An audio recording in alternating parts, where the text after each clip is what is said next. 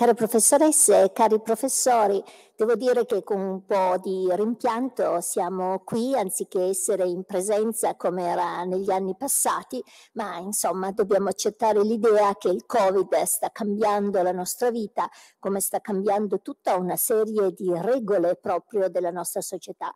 E in realtà anche l'argomento uh, di cui vi voglio parlare oggi è proprio un po' nel segno, nel contesto del cambiamento. E questo microbiota, infatti, di cui parleremo oggi, è veramente un qualche cosa che ha cambiato la, eh, molti aspetti della biologia e anche della medicina e quindi credo che anche se magari eh, non trovate subito una perfetta corrispondenza con i programmi scolastici, tuttavia spero che ci siano un po' di spunti di eh, interesse. E infatti quello vorrei, di cui vorrei parlarvi oggi è, è, proprio un problema che, generale che parte dal, proprio dall'uso delle parole e dal far vedere quello che è il ruolo della tecnologia e poi eh, coglie degli aspetti della medicina di oggi, degli aspetti della biologia vegetale e poi anche parla eh, di problemi biologici generali come l'evoluzione. Quindi spero davvero che ci siano degli spunti che poi a lezione vi possano essere utili per attirare l'attenzione di giovani liceali. E eh, in primo luogo partirei proprio per darvi l'idea di questo microbiota che rappresenta una vera rivoluzione nella biologia, partirei quindi con eh, un eh, breve filmato ehm, che adesso vediamo e che è un filmato in cui troverete un linguaggio un po' veloce proprio perché la traduttrice, la dottoressa Franzinetti, ha dovuto associare le parole inglesi a quello che è l'immagine che vedete. Ecco, adesso diamo uno sguardo a questo breve filmato. I microbioti sono comunità di microorganismi che vivono in un determinato ambiente. Ogni terreno, ogni nicchia nel nostro pianeta ha il suo microbiota. L'oceano, l'atmosfera hanno il loro. Il nostro corpo, la pelle, la bocca e l'intestino hanno il loro microbiota. Ovunque il corpo entri in contatto col mondo esterno. Tutte le forme di vita su questo pianeta si sono evolute insieme e quindi abbiamo bisogno dei microbi così come loro hanno bisogno di noi e ci aiutano a degradare le sostanze nutritive, a produrre vitamine vitamine ed enzimi essenziali nel nostro sistema digerente. Si valuta che vi siano più di mille tipi di microorganismi che vivono nel nostro corpo e che contengano più di 300 volte il numero di geni di quelli delle cellule umane. Sommando i microorganismi nel nostro corpo in un'unica massa formerebbero una palla di circa 3 kg rispetto al chilo e mezzo del cervello. Ciascuno di noi ha dentro di sé un'impronta unica del microbiota. Il microbiota incomincia alla nascita, dipende dalla dieta, da ciò da cui siamo esposti, da dove viviamo sappiamo in alcuni casi può anche influenzare l'umore e il comportamento. Gli scienziati credono che i batteri e gli altri microbi del nostro corpo influenzino la chimica del cervello attraverso diverse modalità. Per esempio, alcuni esperimenti hanno dimostrato che l'apprendimento, la memoria e il comportamento sociale di topolini allevati in ambiente sterile è diverso dall'altri. Gli scienziati non sono ancora in grado di decifrare appieno il funzionamento dei microbiomi, sebbene siano in grado di catalogare con estrema precisione e velocemente il nostro microbiota, ma non sanno sanno spiegare ancora come queste comunità di microorganismi interagiscano le une con le altre e con gli ambienti che le circondano. Per sviluppare gli strumenti necessari allo studio del funzionamento delle comunità microbiche abbiamo bisogno di un approccio che si avvalga di conoscenze multidisciplinari. Abbiamo bisogno di nuove tecnologie e di metodi per decifrare i principi che regolano il microbioti, siano essi presenti dentro una singola cellula su scala planetaria. Capire meglio il loro funzionamento avrebbe un impatto positivo sul modo in cui interagiamo interagiamo col mondo naturale. Ci sono potenziali applicazioni in agricoltura, produttività dei raccolti, clima, ciclo del carbonio, energia sostenibile, biocarburante, salute e medicine, offrendo nuove cure o terapie per le malattie. Solo ora cominciamo a capire la gamma delle nuove possibilità che i microbi ci possono offrire. C'è un mondo microbico invisibile e neanche sapevamo esistesse e stiamo per gettare uno sguardo su questa enorme ma invisibile parte dell'ambiente e del corpo. Le comunità dei microorganismi saranno anche piccole, ma sono molto importanti. Come si dice, sono le cose piccole a fare una grossa differenza.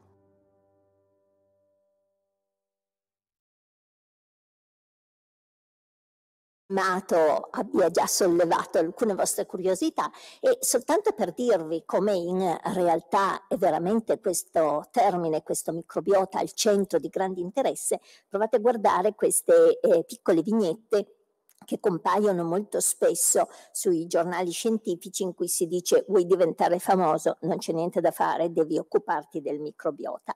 E in primo luogo quello da cui vorrei partire eh, sarà un qualcosa di molto scolastico e quindi di arrivare subito, di partire subito con delle definizioni, perché voi avrete già sentito come nel, uh, nel filmato si utilizzino delle parole diverse, si parla di microbiota ma anche di microbioma. E quindi qual è è la differenza? Allora, per microbiota noi intendiamo fondamentalmente una descrizione della diversità delle comunità batteriche o di microorganismi che sono presenti in una data nicchia, quindi descrive la biodiversità.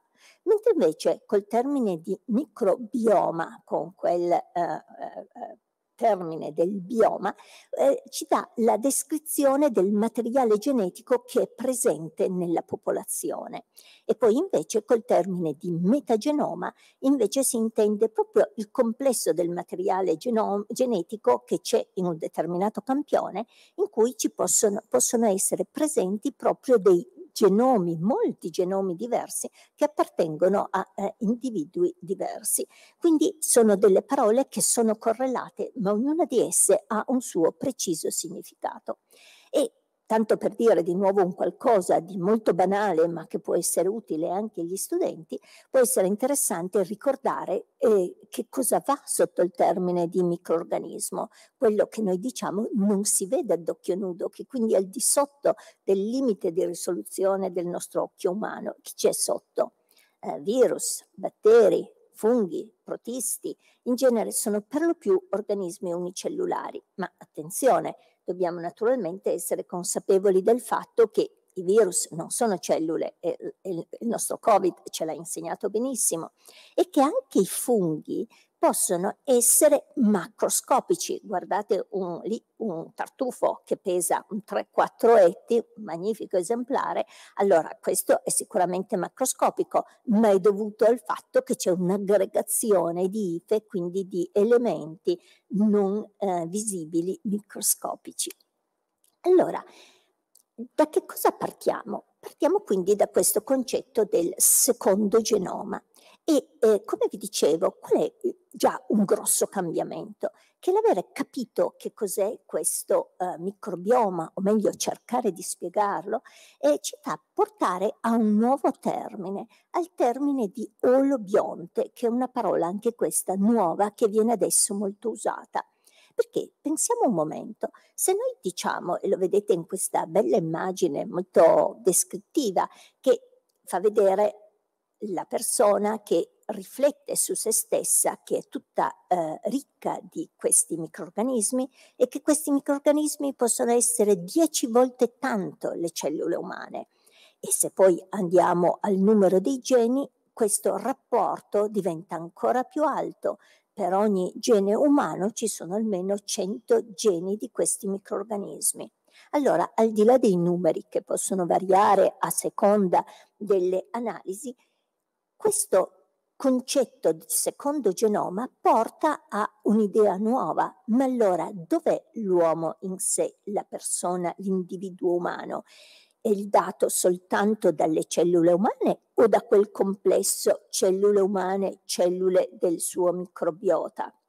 E quindi proprio questo spiega il termine olobionte che individua il tutto, individua la complessità. Ma questo, attenzione, non si ferma solo all'uomo, perché anche le piante hanno un loro microbiota e quindi vediamo come c'è un passaggio molto interessante per cui dalle radici al cibo ognuna di queste tappe della filiera alimentare è caratterizzata da un suo microbiota ma anche i funghi hanno un microbiota. Ripensate a, a, quel tartufo bianco di alba che vi ho fatto vedere prima. In mezzo alle diverse ife ci sono centinaia, migliaia di batteri che proliferano. Quindi la domanda è, ma perché solo adesso ci poniamo questo problema del microbiota? Bene, quello che vorrò farvi vedere è come questo concetto nuovo che porta con sé un avanzamento o comunque un forte cambiamento nella biologia è dovuto da dei cambiamenti tecnologici e quindi dovremo proprio capire come tutta una serie di tecnologie hanno permesso lo sviluppo di questi nuovi concetti legati al microbiota. Ma provate a guardare anche l'impatto sulla comunità scientifica. In questo grafico voi vedete come il termine microbiota compare più o meno nei lavori scientifici a partire dal 2010. Quindi in dieci anni c'è stata una crescita esponenziale di lavori che citano, che mettono quindi come parola chiave microbiota o microbioma. Quindi è veramente al centro dell'attenzione della ricerca scientifica. E vi dicevo, tutto parte diciamo grosso modo dal 2010, quindi è un campo del sapere veramente recente, proprio perché c'è un avanzamento tecnologico. Allora, proviamo a vedere che cosa sono, quindi proprio soltanto con un paio di parole, di diapositive, che cosa sono queste tecniche omiche. Sono quelle che permettono di sequenziare il DNA che è presente in un determinato ambiente. Quindi può essere come ambiente lo spazio, il suolo, l'acqua oppure un tessuto del corpo umano, un, un pezzo di un determinato organo, ad esempio. Quindi cosa si fa? Che da quel piccolo prelievo, da quel piccolo campionamento che viene quindi da un ambiente naturale, si eh, estrae il DNA. Il DNA viene sequenziato seguendo delle tecnologie differenti e i vari dati vengono quindi eh, interpretati e letti utilizzando tutta una serie di informazioni che ci sono nei grossi database. E quindi cosa abbiamo? Degli strumenti per decifrare la complessità dei microbi non visibili quindi che sono presenti anche se questi non sono coltivabili. Ecco questo è di nuovo il punto di volta e, e la, la, novità di questo tipo di, eh, di ricerca. Per moltissimi anni noi ovviamente sapevamo benissimo che nel nostro corpo ci sono microrganismi, che il suolo è ricchissimo di microrganismi, ma tutto questo passava sul concetto del coltivabile, vale a dire doveva esserci fatta, eh, doveva essere fatto un campionamento e eh, i microorganismi presenti da quel determinato campione dovevano essere piastrati, messi su dei mezzi di coltura differenti e poi quindi si vedeva che cosa veniva isolato e quello veniva studiato e di quello veniva anche studiato il DNA, il genoma e così via. Ma era tutto basato sul concetto del coltivabile, mentre invece quello che è il grande salto adesso è che si studia tutta la comunità microbica indipendentemente dal fatto che sia coltivabile, perché il target non è l'individuo che si coltiva, ma è il suo DNA. Quindi le nostre informazioni sono informazioni che vengono proprio dalla firma del, del, DNA che permette di identificare un determinato microorganismo e che qui indipendentemente dal fatto che noi non l'abbiamo in cultura pura, noi abbiamo solo la sequenza. E quindi in base a questo però noi possiamo rispondere a domande molto interessanti. Possiamo quindi chiaramente rispondere alla domanda del chi c'è, ma anche in base a tutti i discorsi e ai dati che già abbiamo sulle sequenze genomiche di moltissimi batteri eh, coltivabili ma anche non coltivabili, noi possiamo rispondere alla domanda quali potenzialità ha in base al suo genoma quel determinato microorganismo, ma anche che cosa sta facendo in quel momento se noi andiamo a studiare il suo RNA, quindi i suoi trascritti o le sue proteine o i suoi metaboliti. Quindi abbiamo tutta una serie di potenzialità in, in, senza più la strettoia dell'avere l'organismo puramente in cultura pura presente in, in un tubo o in una piastra.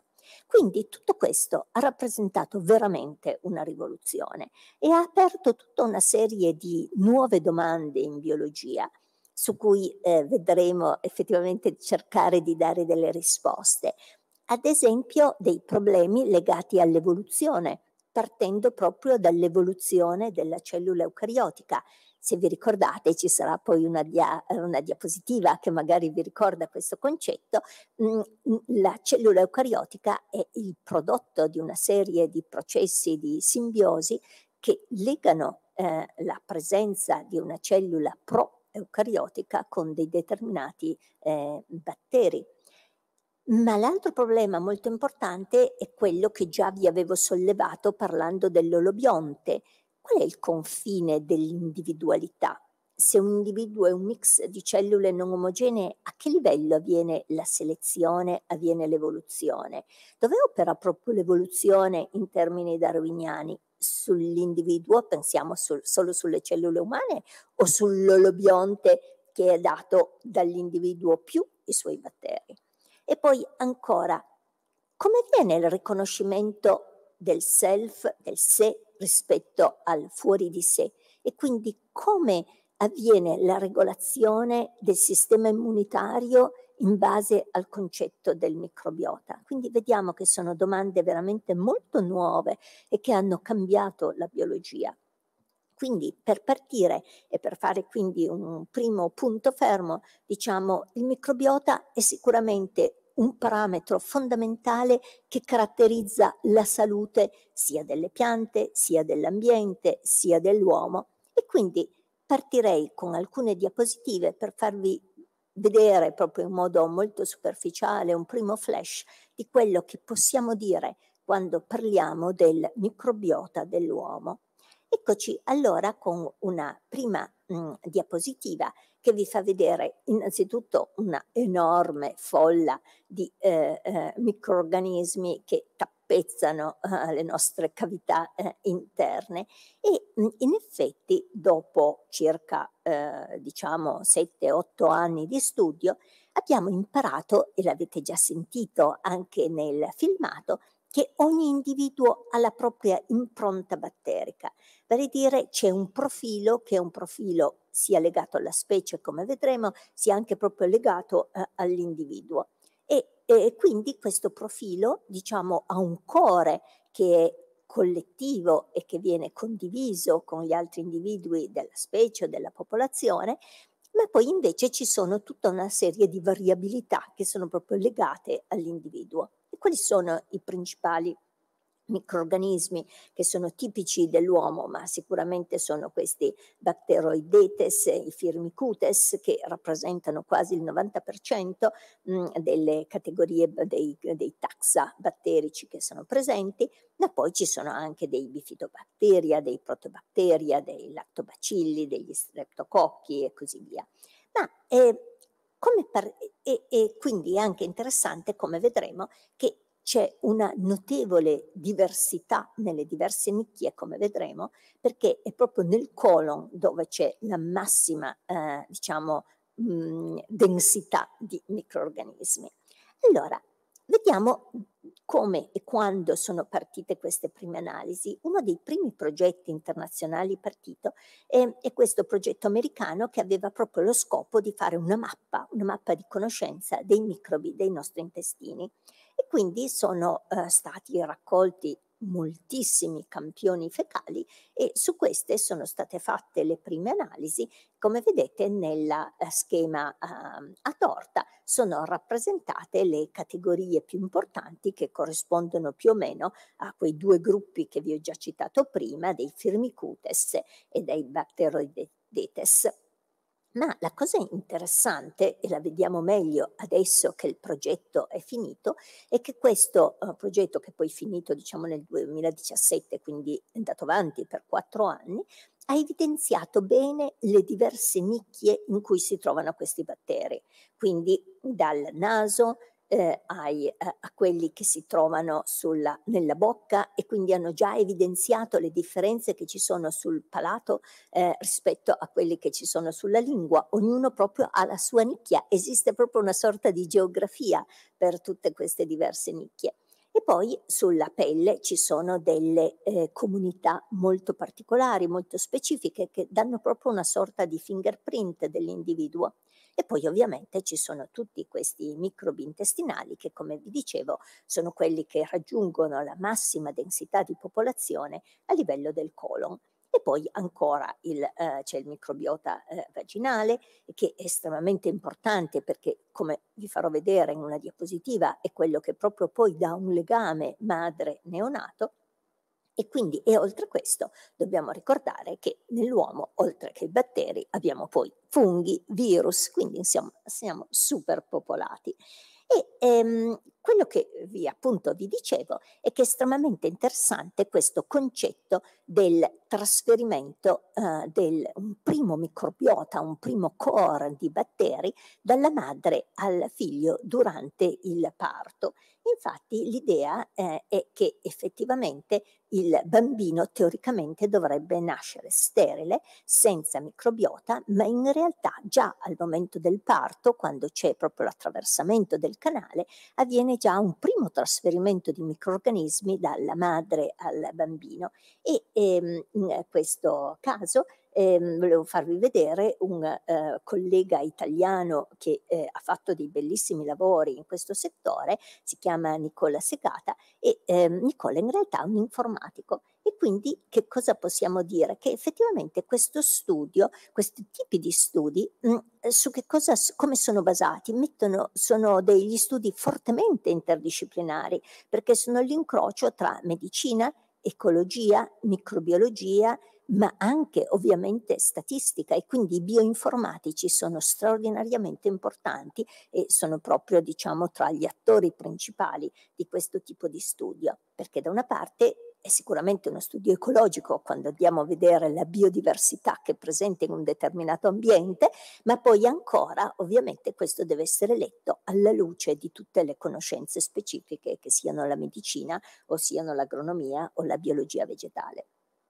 Quindi allora che cosa, eh, eh, quali sono i principali concetti su cui siamo arrivati finora? Che abbiamo visto che sicuramente eh, c'è un processo di evoluzione a partire dal concetto della cellula eucariotica e qui vi rimetto il famoso schema della Lin Margulis che sicuramente ricorderete che ci dice che quindi una cellula eh, ospite eh, pre-eucariotica eh, è in grado di invaginare, di portare al suo interno per dei processi di endosimbiosi eh, dei eh, batteri che sono correlati con un processo, con dei um, meccanismi aerobico e che quindi poi questo batterio si trasformerà nel mitocondrio, mentre invece dei cianobatteri che sono in grado di fare la fotosintesi vengono incorporati all'interno di questa cellula, uh, diciamo, progenitrice della cellula eucariotica e si trasformeranno poi nei eh, cloroplasti quindi mh, mhmm, vediamo che effettivamente questo concetto è interessante, che la cellula eucariotica è come già una piccola eh, eh, comunità eh, di, di microbiotica in miniatura. Il secondo punto che abbiamo visto è che queste comunità microbiche sono associate alle superfici e ai tessuti interni di tutti gli eucarioti. Queste comunità variano e Sicuramente da un punto di vista evolutivo noi possiamo dire che aumentano la variabilità individuale perché rappresentano un altro carattere. Allora, questo ci pone un discorso abbastanza interessante. Possiamo dire, ma si può fare uno studio di quello che era il microbiota dei nostri antenati?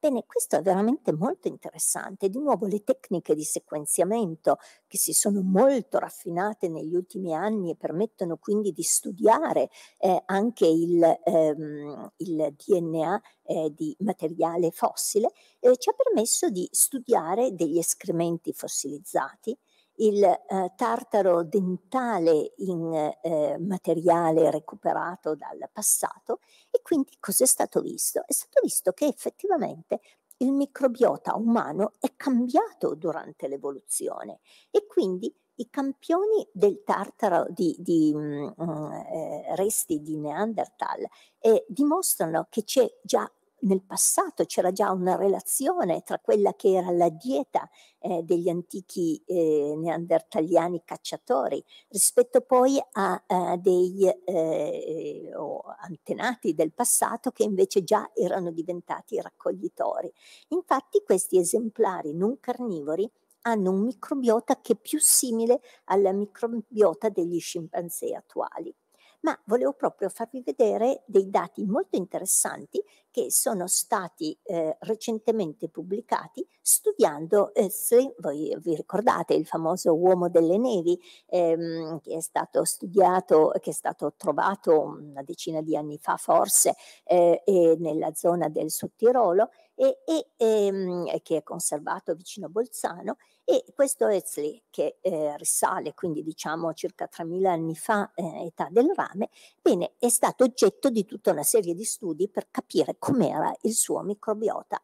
Ed è effettivamente interessante perché è, è, è risultato eh, che eh, già erano presenti una serie di microorganismi che sono presenti tuttora mh, come, ma, com, proprio come firme del nostro microbiota come un Clostridium e Pseudomonas, e ma poi anche eh, sono stati addirittura sequenziati cinque interi genomi di ehm, batteri che di nuovo sono molto, corrispondono a quelli che sono presenti nella eh, nostra dieta attuale, nel nostro microbiota attuale. Per cui mm, l'idea è che ci sia sicuramente un core di batteri che si è conservato eh, durante eh, l'evoluzione. E ehm, questa diapositiva un po' complessa ci dà un quadro un po' più, diciamo, generale perché ci fa vedere come si colloca il microbiota umano rispetto al microbiota degli altri organismi. Quindi se voi eh, partite dalla prima, ehm, dalla prima eh, diapositiva, adesso qui forse non vedo bene il, il diciamo non ho un, uh, un pointer, ma eh, vi faccio vedere nella diapositiva A, nella parte A della diapositiva, in alto quindi sulla sinistra, ehm, sono rappresentati microbiota di diverse eh, popolazioni che vivono in ambienti diversi, hanno delle culture differenti e vedete che c'è una sostanziale diversità, cioè quel concetto che vi dicevo già prima, che eh, eh, c'è proprio una firma di individualità.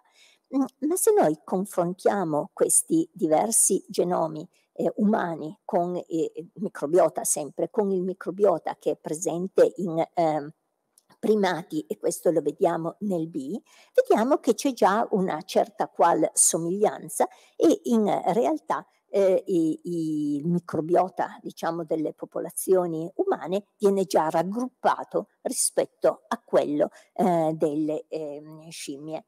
Ma se, e lo vediamo quindi nel riquadro C, confrontiamo il microbiota degli umani su una scala molto più ampia, quella di altri mammiferi oppure di eh, uccelli eh, o di pesci o di rettili, eh, o anche di pipistrelli, li vediamo in basso uh, sulla destra, vediamo che mh, a questo punto le differenze del microbiota umano praticamente spariscono perché vengono tutte raggruppate molto molto diversificate rispetto a quello degli altri eh, organismi viventi. Quindi che cosa vediamo? Vediamo che c'è effettivamente eh, una, um, un nuovo parametro che noi possiamo considerare nel contesto dell'evoluzione, vale dire il microbiota marca proprio anche chiaramente queste differenze che sono legate ai diversi eh, gruppi ehm, di, degli organismi viventi. Possiamo quindi, quindi diciamo questo diventa veramente un concetto molto importante in termini evolutivi. Ma se noi passiamo a questo punto a considerare le principali funzioni che eh, sono associate al microbiota nell'uomo, allora possiamo di nuovo anche qui avere una serie di scale e di suggerimenti diversi come vengono eh, da un numero veramente enorme di studi che si sta accumulando su questo. Che cosa vedete già subito come prima immagine? Che ehm, il microbiota cambia nell'uomo a seconda delle sue fasi eh, del, proprio della vita, per cui il bambino, come abbiamo visto, il neonato ha un determinato microbiota, ma poi questo cambia man mano che eh, cambia la sua dieta, quindi dal latte materno passa a un altro tipo di dieta, cambia quando durante la pubertà, l'adolescenza, all'età adulta e infine è ancora completamente diverso in una persona anziana. Ma che cosa succede? Succede quindi che anche le funzioni, hanno un significato diverso a seconda del periodo eh, del ciclo della vita. Per cui abbiamo dei eh, momenti in cui il microbiota diventa veramente un importante fattore di salute, Altri, in altre condizioni invece è un fattore importante di quello che noi definiamo il benessere generale. E vediamo infatti che eh, questi significati eh, eh, possono essere e possono effettivamente variare molto, per cui mh, mm, ritornando quindi alla prima fase, alla fase sia neonatale che quello dei primi mesi di crescita, non abbiamo dubbio che il microbiota ha un ruolo fondamentale sia proprio nel colonizzare quelle diverse nicchie che abbiamo visto prima, sia anche proprio nell'aiutare i processi di acquisizione di nutrienti che vedremo è proprio il primo principale ruolo del nostro microbiota.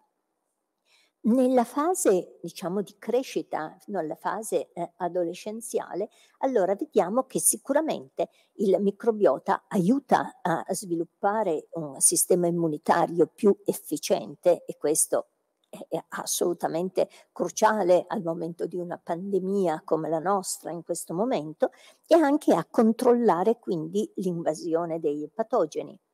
Interessante osservare come nella fase matura si tende a dire che il microbiota può essere molto importante come un fattore che controlla la fertilità, diciamo indirettamente o perché migliora in termini positivi lo stato nutrizionale, quindi rende eh, un, uno stato diciamo eh, di maggior benessere, quindi potenzialmente più fertile, o viceversa se invece è, è carente e quindi porta a uno stato di minore benessere e sicuramente anche nella fase eh, terminale della, della, vita il microbiota continua a svolgere questa funzione generica di controllo del benessere, ma poi anche sono invece associati e qui direi che le relazioni sono più correlative che di causa vero e proprio con una serie di malattie che sono correlate ad esempio con eh, la produzione di eczemi, la presenza di eventi asmatici,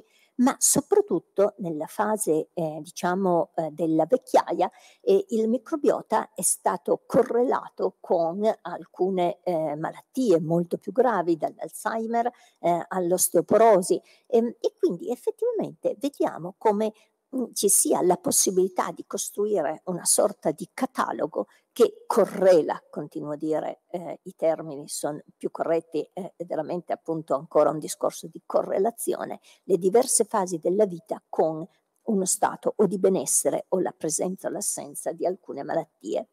Quindi, ricapitolando, se noi volessimo dire a questo punto quali sono le attività principali del microbiota rispetto all'uomo, allora non abbiamo dubbi nel dire ci sono tre grandi eh, categorie di, di, ruoli e di funzioni metaboliche. Allora, innanzitutto eh, questi eh, microorganismi includono, producono eh, vitamine eh, che l'uomo non può sintetizzare, pensiamo ad esempio a una vitamina B12, mh, mm, sono coinvolti nella trasformazione di acidi biliari, nella fermentazione di substrati, produzione di acidi grassi a catena corta, eh, ma anche eh, in, in particolari meccanismi del metabolismo minerale, come ad esempio il calcio e il magnesio, produzione di fattori che regolano la motilità intestinale, quindi sicuramente un processo metabolico molto importante.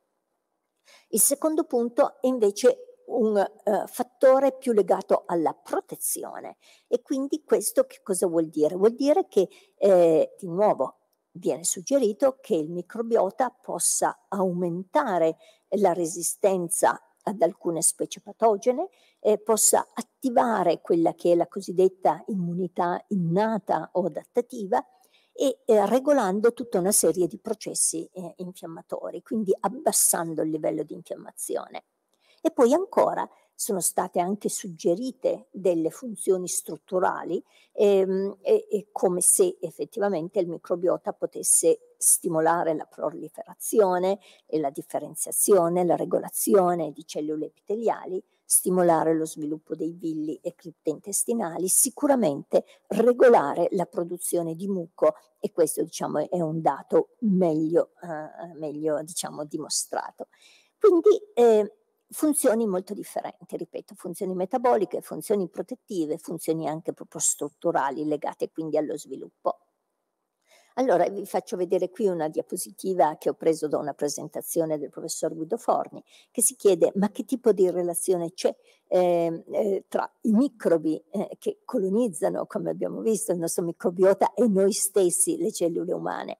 Allora attenzione, di tutta questa grande variabilità di microorganismi, sicuramente il, la maggior parte di questi è commensali Molti sono mutualisti, vale dire hanno un effetto benefico sicuramente perché svolgono quei ruoli che vi ho elencato prima.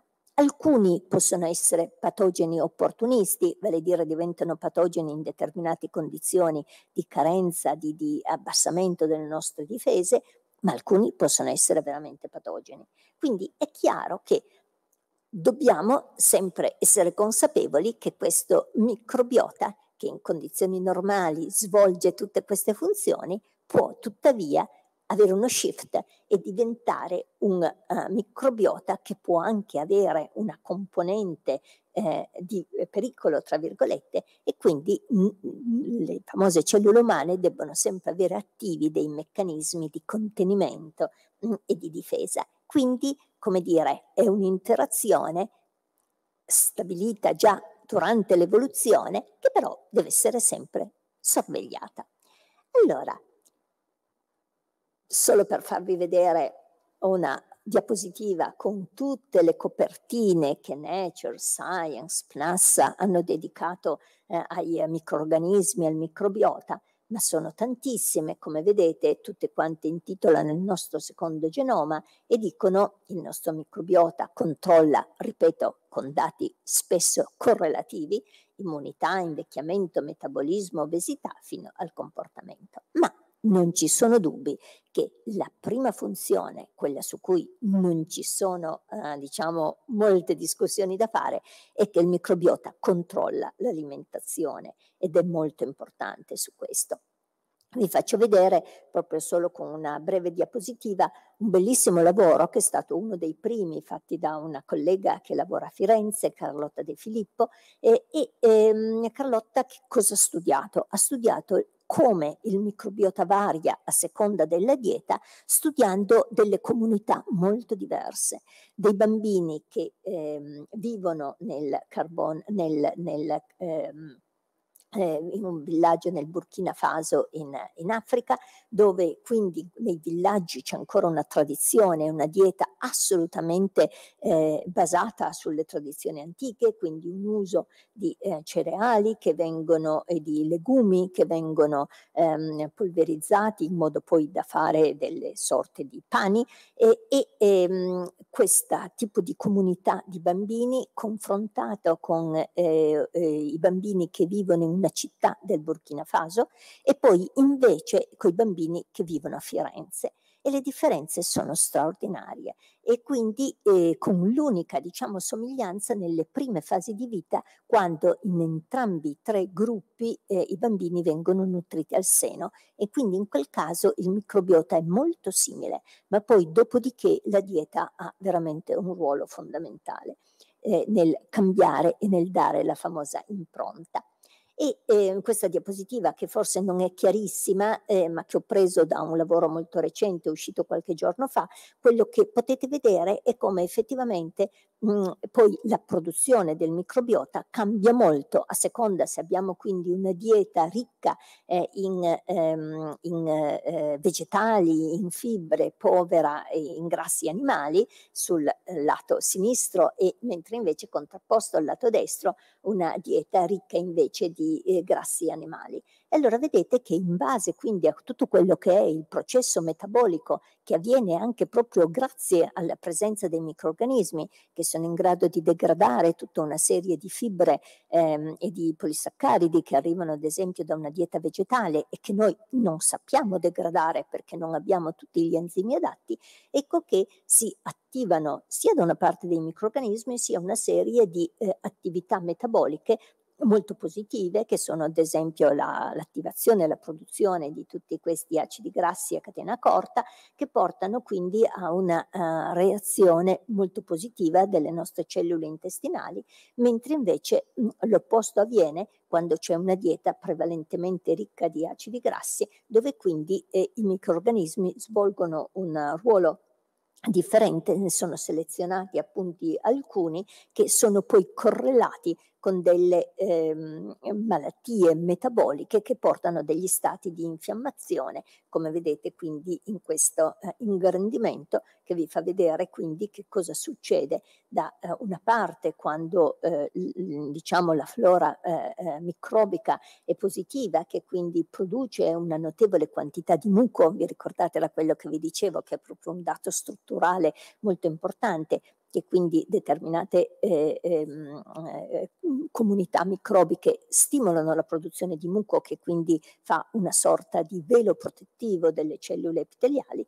mentre invece dall'altra parte eh, questo porta a eh, una diminuzione della secrezione di muco che quindi permette anche poi proprio dei processi di colonizzazione da parte dei batteri delle cellule interne stimolando quindi dei processi di infiammazione. Per cui in realtà la dieta sicuramente è molto importante.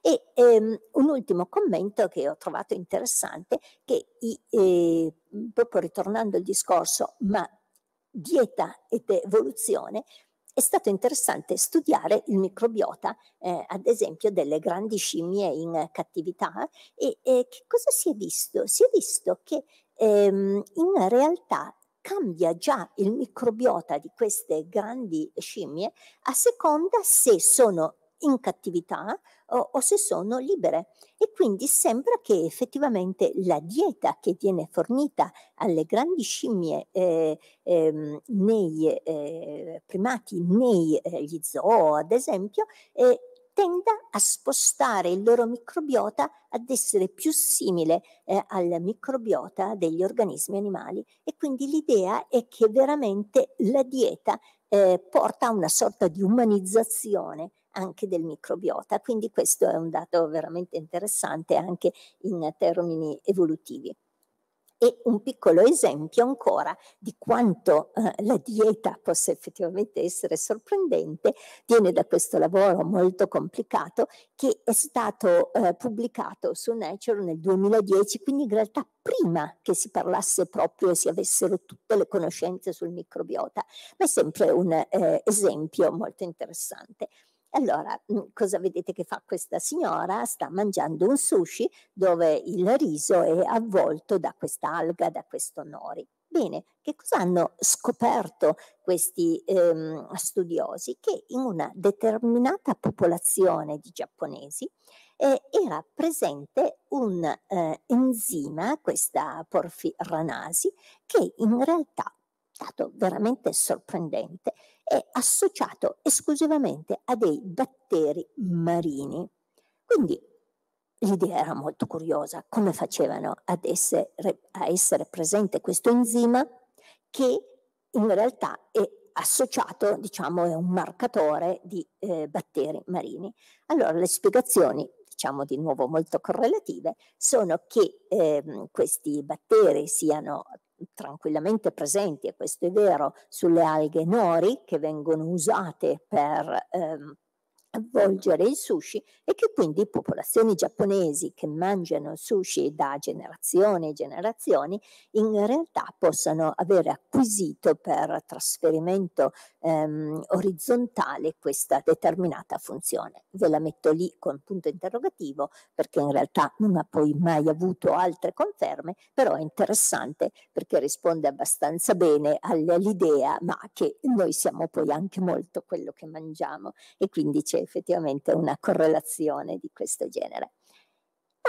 Se a questo punto, negli ultimi minuti di questa lezione, passiamo a vedere che cosa succede nelle piante, allora, come vi ho già detto prima, anche le piante hanno il loro microbiota e mh, mm, a me piace tanto dire che nessuna pianta è un'isola, citando la poesia di John Donne e del, del 1600, questo poeta del 1600, che dice proprio nessuno di noi vive da solo, ma anche nessuna pianta vive da sola. Le piante vivono all'interno di una complessa rete di interazioni, non solo con le altre piante, ma anche con altri organismi animali, con funghi, ma sicuramente con tantissimi microorganismi. E di nuovo, anche qui Abbiamo studiato, abbiamo capito negli anni che esiste una vera e propria geografia del, per il microbiota. Il microbiota delle foglie è diverso da quello delle radici, che è diverso da quello dei semi, che è diverso da quello dei fiori o dei frutti. Ma e anche qui le domande sono identiche a quelle che ci siamo poste per il microbiota umano. Ci dobbiamo chiedere ma chi c'è? Che cosa potrebbe fare? Ma che cosa fa veramente? Ed ecco allora che eh, se noi prendiamo una manciata di suolo, oggi non l'ho presa con me, ma vediamo questo suolo e vediamo di illuminarlo in qualche modo con delle tecniche che sono fondamentalmente delle tecniche basate sul DNA, allora vediamo che il eh, suolo che circonda le radici è pieno di microorganismi e, e quindi possiamo anche qui, vedendo mh, mm, un, un, lavoro eh, che risale già ad alcuni anni fa, capire come la pianta sia circondata da diversi microorganismi che non sono soltanto batteri, ma sono funghi, sono omiceti, sono artropodi, sono alghe e tra i batteri che cosa abbiamo? Abbiamo di nuovo dei protobatteri, ma abbiamo moltissimi actinobatteri e poi ancora i firmicutes, ma sicuramente i protobatteri sono quelli che dominano nella rizosfera, vale dire nella zona proprio stretta di suolo che circonda la radice. E ehm, vi faccio vedere questa diapositiva, un po' complessa ma interessante che cosa fa? Confronta la radice e il suo microbiota eh, di una pianta con quel famoso intestino apparato digerente che abbiamo visto prima e il suo eh, microbiota e ci fa vedere le somiglianze e le differenze. Allora, le funzioni sono fondamentalmente molto simili. Abbiamo fondamentalmente dei processi che sono simili, acquisizione di nutrienti, sviluppo cellulare, difesa contro i microbi patogeni, quindi sono esattamente le funzioni che abbiamo elencato in dettaglio prima per eh, diciamo, il microbiota del nostro apparato digerente. Ma le, eh, la biodiversità, quindi quando parliamo proprio di microbiota come diversità dei taxabatterici, è notevolmente differente. E questo perché? Perché eh, molto spesso le comunità microbiche del nostro intestino sono anaerobiche, mentre invece quelle che vivono associate alle radici delle piante sono fondamentalmente aerobiche. E solo per senza entrare nei dettagli vi faccio vedere un'analisi che abbiamo fatto nel nostro laboratorio appena pubblicato adesso, un nostro postdoc eh, Matteo Chialva e vediamo come abbiamo analizzato negli anni come variava il microbiota di riso che è estremamente interessante perché il riso passa da delle fasi di asciutta a delle fasi di immersione e abbiamo visto come il suo microbiota cambia moltissimo a seconda delle fasi di sviluppo. Quindi anche qui è esattamente un po' come abbiamo visto per l'uomo e le sue fasi vitali, cambia a seconda delle fasi del ciclo di crescita. E abbiamo anche capito meglio quelli che sono i fattori che influenzano il microbiota. Abbiamo visto come fondamentalmente c'è un ruolo cruciale del compartimento, cioè quel famoso discorso della geografia. Il, eh, I batteri che si trovano dentro la radice sono diversi da quelli che ci sono immediatamente alla superficie e quindi noi diciamo che la pianta fa da filtro perché seleziona in un certo modo i microorganismi che possono entrare all'interno e quindi il genotipo della pianta è sicuramente un fattore di controllo estremamente importante. Per cui possiamo concludere dicendo che sicuramente ci sono molti fattori che proprio eh, determinano la composizione del microbiota di una pianta, quindi fattori ambientali che si incrociano col genotipo della pianta stessa. Come sempre abbiamo sempre un equilibrio tra i due fattori, il fattore proprio del DNA, dell'informazione genetica e come si incrocia con l'ambiente. Un altro punto che si sta studiando moltissimo in questo periodo, e questa diapositiva è stata pubblicata proprio solo qualche mese fa, è quello del chiederci esattamente se anche per le piante vale il discorso dell'evoluzione che abbiamo visto. Ricordate che vi ho fatto vedere come mh, nell'uomo uh, del ghiaccio, uh, Oxley, in realtà ci siano dei microorganismi che sono ancora presenti adesso. Bene, cosa si fa? La domanda è molto simile. Noi adesso abbiamo nei nostri campi fondamentalmente delle piante che derivano da un processo di breeding, da un processo fatto dall'uomo che quindi ha fatto evolvere delle determinate varietà, ma l'evoluzione qui è un'evoluzione fatta dall'uomo. Allora la domanda è, ma queste piante che l'uomo coltiva, che sono piante ad alta produttività, hanno lo stesso microbiota della pianta antenata da cui è derivato. E qui vi faccio vedere mh, mm, proprio solo una diapositiva di lavori molto belli che fa un, collega, un giovane collega italiano che si chiama Davide Bulgarelli e che ehm, lavora eh, in Scozia e che quindi lui segue proprio l'evoluzione, ad esempio, dell'orzo e quindi va a vedere quelle che sono eh, le varietà ancora selvatiche e quindi studia come evolve il microbiota dalla pianta selvatica alla pianta che vive invece in un ambiente ad alto input di eh, un'agricoltura ad alta resa oppure invece un'agricoltura più sostenibile dove l'impatto dei fertilizzanti eh, o degli erbicidi è meno forte. E anche qui che cosa emerge di nuovo? Emerge che c'è un core che viene conservato, ma poi ci sono delle forti, forti variabilità. Quindi anche qui abbiamo un concetto di evoluzione del microbiota anche per le piante. Quali sono le funzioni? Vi ho già detto, sono esattamente quelle che abbiamo visto prima, il microbiota fa tutta una serie di servizi che sono fondamentalmente dei servizi nutrizionali, dei servizi legati alla produzione di composti antimicrobici, antiossidanti, eh, regolato dagli esudati radicali, ma fondamentalmente svolge un ruolo cruciale nel regolare le difese immunitarie della pianta. Quindi questo è un problema veramente molto importante, molto complesso. Non sto a scendere eh, nei dettagli, ma se qualcuno di voi è interessato, cioè di nuovo il mh, mm, plant microbiota ha la funzione proprio di alzare il livello di immunità della pianta e di difenderla quindi da dei potenziali patogeni.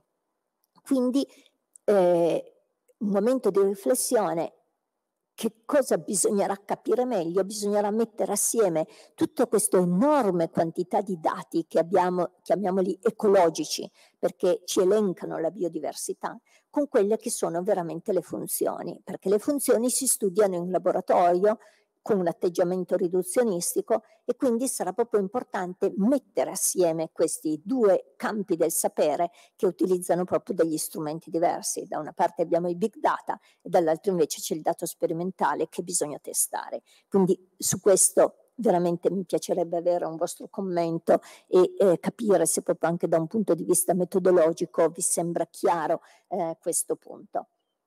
Lo stesso discorso, ma non entro nei particolari, vale per per il microbiota dei superorganismi, questo è interessante, pensate a un alveare, pensate a un formicaio, anche qui il discorso dei microbiota è veramente molto interessante. Ma vorrei terminare eh, questa lezione un po' pesante con ehm, un, leggendovi quello che ha scritto Telmo Pievani sul concetto microbiota evoluzione. Abbiamo organizzato un, ehm, un seminario sul microbiota dedicato proprio a studenti del liceo eh, a, nel febbraio del 2019 eh, a Roma eh, e ehm, avevo chiesto appunto al professor Pievani, che sapete è un grande esperto di evoluzione, di fare una riflessione sull'evoluzione consi- vista considerando il microbiota. E quindi vorrei leggere con voi queste poche righe che mi sembrano molto interessanti e piene di spunti. Eh, piante animali sono al contempo gli habitat e i veicoli di trasmissione verticale e orizzontale del loro microbiota. Quindi sono olobionti, vedete quella famosa parola che vi ho presentato all'inizio, cioè la somma di un ospite macroscopico e di tutta la sua popolazione microbica in simbiosi. Questa somma però non è una giusta posizione, ma una unità di organizzazione biologica coerente e dotata di sua fitness. Il patrimonio genetico complessivo di un olobionte è il suo ologenoma, vale dire quel complesso che vi ho anche definito come microbioma, ed è il frutto sia dell'interazione tra il genotipo dell'ospite e l'ambiente, sia della relazione tra i genotipi interni e quelli dei microorganismi ovviamente. Cambia quindi l'idea di che cosa sia nell'evoluzione un individuo o un organismo singolo. Piante e animali sono network biomolecolari, entità poligenomiche quindi a una concezione dell'evoluzione esclusivamente focalizzata sul genoma individuale e sulle sue variazioni rischia di essere troppo povera. Forse il materiale variazionale a disposizione della selezione naturale genetica e epigenetica è più ricco di quanto si pensasse. E quindi l'idea è che probabilmente l'evoluzione potrebbe avere eh, diciamo, potrebbe aver agito anche considerando quindi il complesso del microbiota. Spero che quindi questa lezione un po' densa e effettivamente ricca di molte novità che rappresentano veramente un po' dei cambiamenti in biologia, proprio con dei cambi di paradigma anche in quelle che sono le basi come concetto dell'evoluzione, possa aver avuto la vostra attenzione e un vostro interesse e aver offerto anche degli spunti per le lezioni in classe. Ho segnato quindi alcune eh, delle mh, review più recenti che sono uscite, ma ce ne sono proprio tantissime. Mh, ho riportato il video e, e, ehm, ho poi anche eh, segnato e chi di voi sarà interessato sarò felice di mandare il pdf di questo volume proprio ad hoc che abbiamo pubblicato all'Accademia dei eh, Lincei e quindi ancora grazie per la vostra attenzione speriamo quindi di trovarci in qualche modo per la, il momento di discussione e di riflessione assieme che sarà poi più tardi eh, a febbraio. Buongiorno ancora.